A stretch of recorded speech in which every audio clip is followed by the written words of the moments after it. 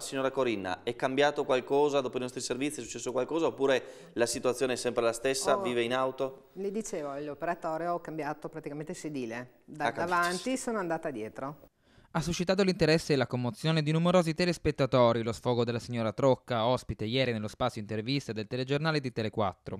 Stamane hanno chiamato molte persone che hanno voluto chiedere maggiori informazioni ed esprimere la loro solidarietà nei confronti della signora. Ogni notte passata fuori è, è dura, è dura perché comunque insomma, non si può vivere in macchina proprio umanamente. La situazione è diventata abbastanza nota. La donna, al seguito della separazione del marito dopo molti anni di matrimonio, si è trovata senza più fissa dimora. Da quel momento vive e dorme nella sua automobile, aiutata sì dalla generosità di alcuni amici, ma con un sentimento sempre di debito nei loro confronti.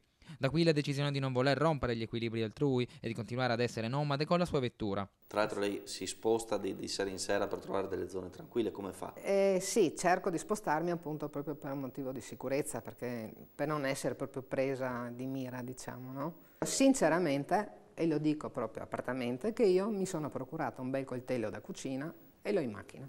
Vettura che però non le garantisce comfort e sicurezza, tutto ciò che la donna chiede apertamente a chi avesse la facoltà di poterle assegnare un alloggio. L'aiuto che mi stanno dando i servizi sociali, che ho sentito dire che mi hanno dato l'aiuto, mm -hmm. che mhm. sembrerebbe che uno gli dà l'aiuto che può prendere casa, mangiare, dormire, fare tutto. Sì, il solo formulario riferito di assegni di 400 euro 400 euro al mese e giuro sinceramente che non si arriva assolutamente.